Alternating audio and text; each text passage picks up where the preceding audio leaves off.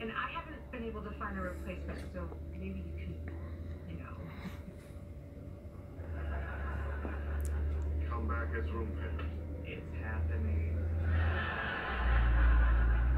Okay, okay, but I have a few conditions. No. Well, just hear me out. If we could just. No.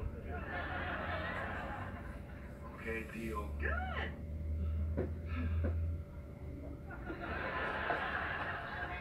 Are we just gonna stand here or?